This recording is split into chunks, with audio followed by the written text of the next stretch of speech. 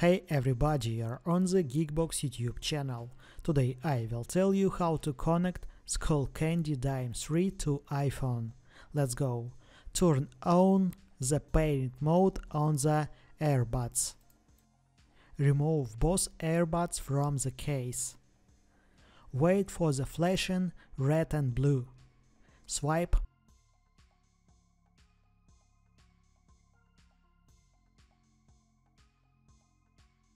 Bluetooth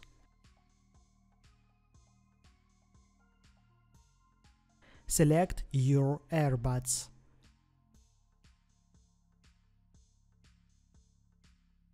Or open Settings, Bluetooth,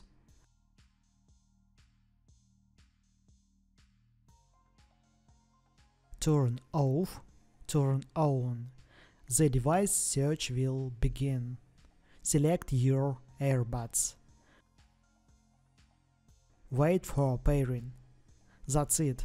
Now you know how to connect Skullcandy Dime 3 to iPhone. If I've helped you, please like and subscribe to the channel. Good luck and see you soon.